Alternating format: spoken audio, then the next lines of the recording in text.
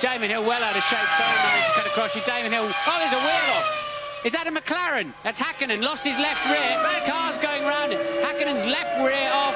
Safety Will. car. I wonder if that'll be safety car. Safety car will have to come out to allow them to retrieve that wheel. They won't Well, get that car running again, I don't think. Not a- safely, but they have. brave man. Wow. There's going to be a post-mortem over this with the suppliers and at McLaren as Mika Hakkinen comes in to finish his British Grand Prix, surely. Are they going to put a wheel on and give him another go? They'll have to The look at the floor. If the will be floor's, if the floor's okay, the floor's okay, then uh, they will be able to carry on. But uh, we didn't see any sparks come up as we have so very often in the past.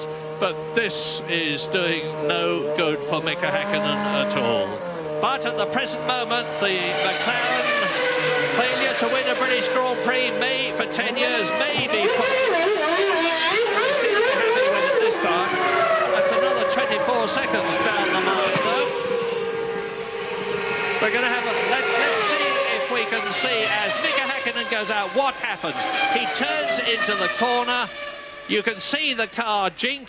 He's obviously feeling it loose at the back and hardly surprising that- because off rolls the left rear wheel over the gravel track. Yes, the wheel makes it back onto the racetrack eventually, as we all know. So uh, it's amazing the Ju- amount of energy, show- isn't yeah, it? Just shows how much energy they contain. It couldn't have happened at a better time, just as the pit lane entry's coming up. So uh, Hakkinen skidding down.